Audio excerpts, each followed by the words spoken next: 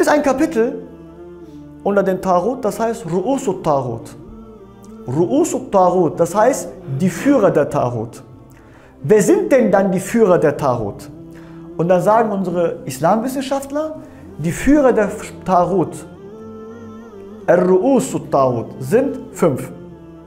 Es gibt fünf Leute, fünf Arten von Kreaturen, von Menschen oder Systemen, die was machen? Die den Tarot sind, also die die Führer der Tarot sind. Es gibt fünf Führer, merkt euch das, fünf Führer, Leader vom Tarot. Und zwar der erste ist zweifelsfrei der Shaitan. Shaitan ist der erste Führer des Tarots, Iblis, Lanetullahi alayh. Das ist der größte Tarot. Dann zweitens jemand, der zu sich zur Anbetung aufruft. Der jemand will, dass er angebetet wird. Auf was für eine Art und Weise auch immer. Dass er angebetet wird. Dalai Lama etc. Buddhismus. Drittens, jemand, der zufrieden ist, wenn er angebetet wird. Das ist gefährlich. Dieser Dritte, der ruft nicht auf, dass du ihn anbetest. Der weiß, dass du ihn anbetest, aber er sagt nicht, mach das nicht. Also das ist genauso zum Beispiel in einer Tarikat, in äh, Sekten, wo der Sheikh zum Beispiel merkt, dass die Angehörigen, äh, die in der Jamaat, in der sogenannten Jamaat sind, anfangen ihn anzubeten, anzuhimmeln, ihm bestimmte Kräfte zuzuschreiben und er sagt nichts dazu. Er weiß, dass das nicht stimmt, aber er lässt das auch zu, weil, weil wer mag denn nicht, wenn jemand ihn anhimmelt?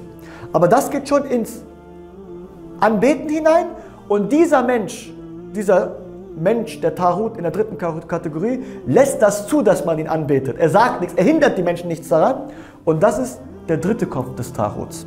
Bilden heute in der islamischen Welt, auch in der nicht-islamischen Welt, sehr, sehr viele Menschen. Viertens, der vierte Kopf von Tarot ist jemand, der behauptet, über das Beworgene, über das Verborgene zu berichten.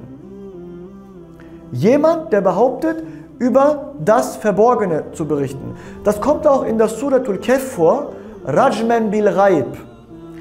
ويقولون ثلاثة oder ويقولون خمسة وسادس كلبهم ويقولون سبعة وسامي وخامس وسادس كلبهم. Das sind halt die Leute, die halt behaupten, die Teil von Ashab Kef zu berichten. Aber was sagt Allah? Rajman bil Ghaib. Sie tun eigentlich nur das Verborgene bewerfen oder drin rumstöchern, auf sinngemäß auf Deutsch gesagt. Und daher, Leute, die zu euch kommen und sagen zu euch, pass mal auf, Achi, ich kann euch vom Verborgenen berichten. Ich kann erzählen, was du morgen machen wirst. Ich kann erzählen, was übermorgen mit dir passiert, zum Beispiel mit den Sternzeichen. Ja? Dann ist diese Person auf jeden Fall ein Tarot geworden. Warum? Er hat die Grenzen überschritten, die Allah gegeben hat. Und was ist die, eins der Grenzen? Das ist El-Raib. Und Raib, die Zukunft, die Zukunft und das Verborgene, kann nur Allah. Kann nur Allah. Und außer denjenigen natürlich, den Allah subhanahu wa ta'ala diese Möglichkeit dazu gibt. Aber heute sehen wir auf den Straßen oder in den äh, islamischen Bereichen, jeder kommt und sagt, morgen wird mit dir das und das passieren. Er kommt zum Beispiel aus dem äh, Kaffeesatz, aus dem Mokka und versucht aus dem Mokka eure Zukunft zu lesen. Und was passiert mit den Leuten heutzutage? Sie glauben auch noch in dem Stück Dreck, Mokka, ihre Zukunft und gestalten auch noch ihren Tag dazu.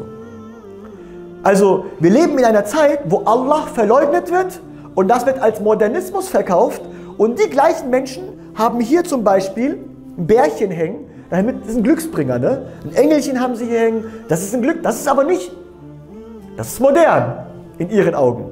Und diese modernen Menschen, die nicht an Allah und an seine Gesandten glauben, sie glauben, was aus dem Kaffeesatz gelesen wird oder was Menschen aus einer äh, glitzernden Kugel ihnen berichten. Gestern Abend noch habe ich im, ähm, ich weiß nicht, was für ein türkischer Kanal das gewesen war, ich glaube, das war Habertürk oder Star gewesen.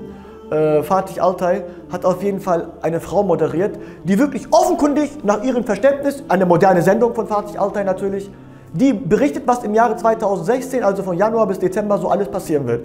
Und das wird dokumentiert.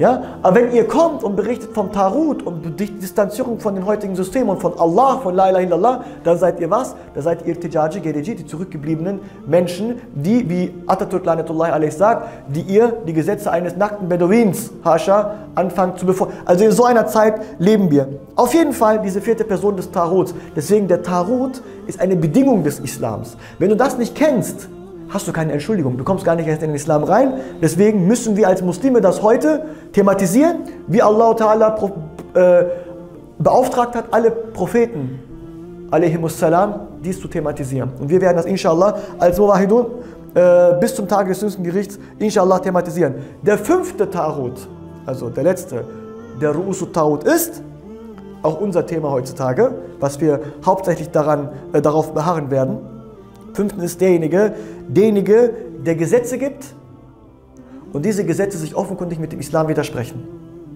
Ganz klar. Das sagt Imam Qurtubi, Fahreddin Razi, Aliul Kari und alle anderen islamischen Gelehrten sagen, diejenigen, die zu Halal zu Haram und Haram zu Halal machen, sind zweifelsfrei Kuffar. Sie sind nicht nur Kuffar, sie sind nicht nur die Feinde Allahs, sie sind der Tarut, womit wir beauftragt worden sind, uns von diesen Leuten loszusagen und den Tekfir auf sie auszusprechen und sie mindestens, mindestens zu hassen.